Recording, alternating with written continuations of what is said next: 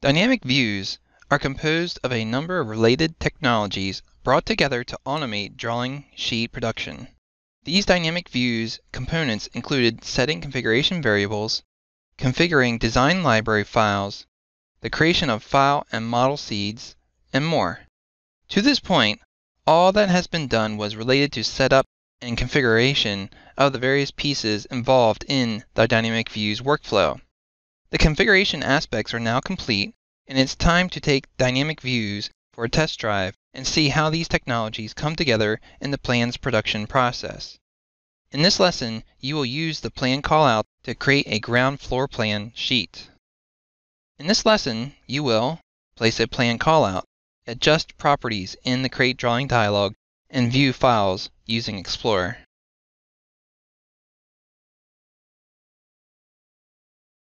Open the Design Composition.dgn from the datasets DGN folder.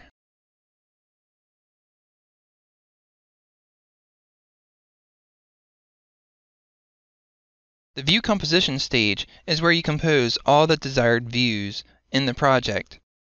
These views should have linked callouts and placeholder fields so when the views are added to a sheet, they are automatically updated as work goes on in the project. In the sheet composition stage, you create sheets that represent finished work ready for publication. Begin by rotating View 1 into the front view.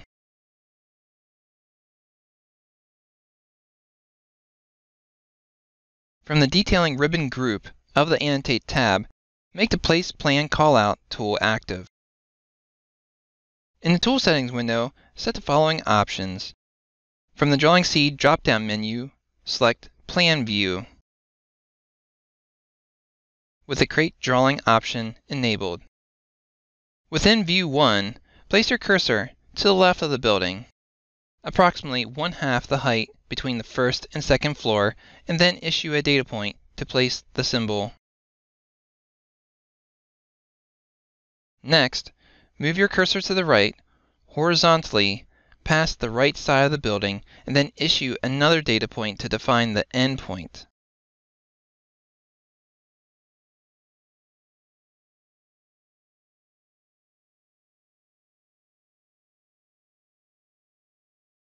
Move your cursor in the downward direction below the footings of the building and issue a final data point to define the depth of the plan.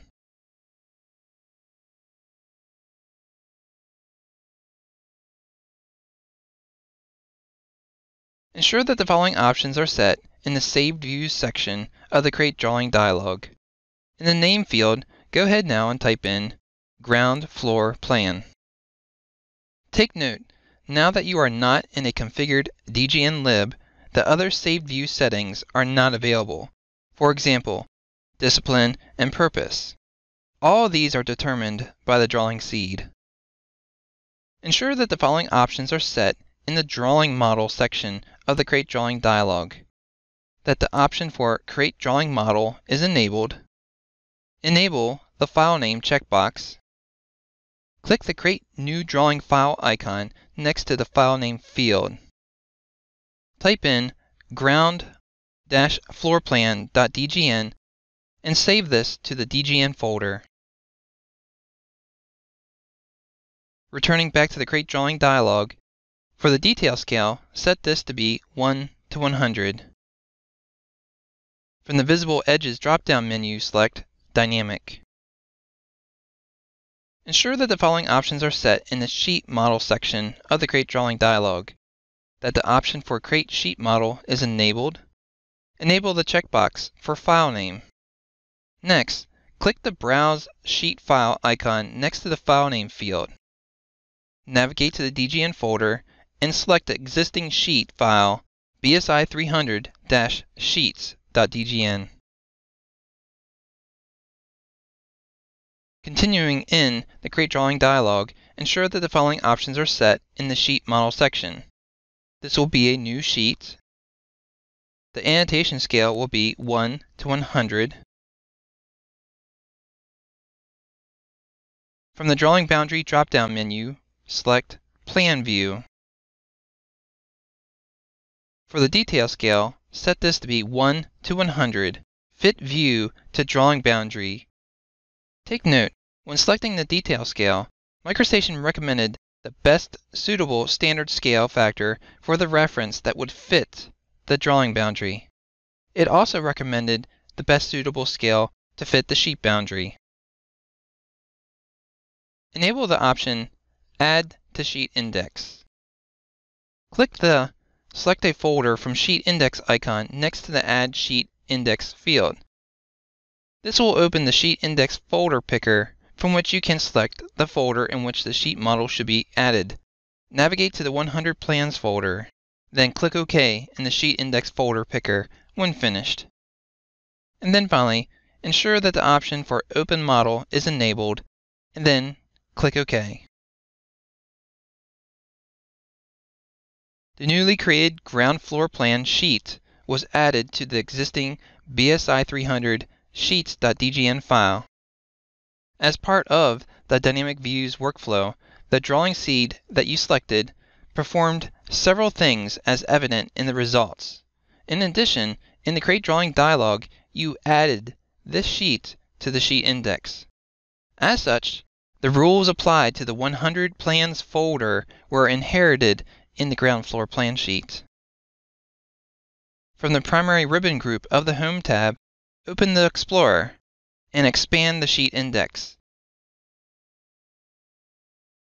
Observe here how the ground floor plan sheet was added. Review the title block and the drawing title at this time.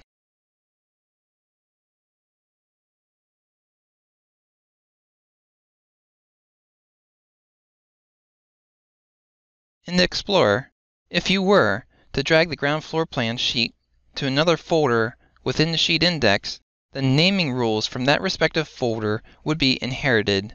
The properties would then be reflected within the sheet as you have seen here in the drawing title and in the title block.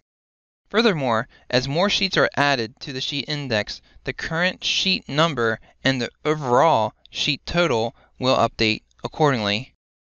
In the next exercise, you will include the other existing sheets from this sheet file into the sheet index. Next, you will need to return to the Design Composition DGN file via the Plan View marker to resize the clip volume. The clip volume region was automatically sized when placing the callout. As such, this region may not encompass future annotations and elements alike. Move your cursor over the yellow plan view marker to invoke the mini toolbar. From here, select Open Design Model. This action will open the Design Composition DGN file. Furthermore, the ground floor plan saved view has been applied with an addition of the sheet annotation, which of course could be turned off via the mini toolbar. With the Element Selection tool active, issue a data point on the yellow Plan View marker to make the clip volume active for editing. Adjust each of the four blue edit handles, expanding the clip volume outwards towards the border line work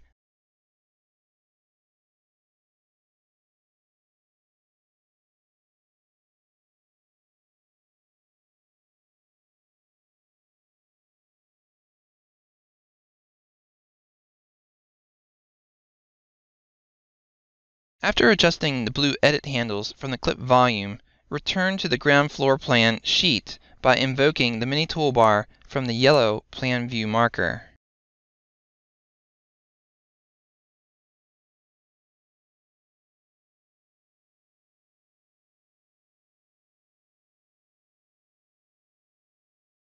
In this lesson, you placed a plan callout, adjusted properties in the Create Drawing dialog, and viewed files using Explorer.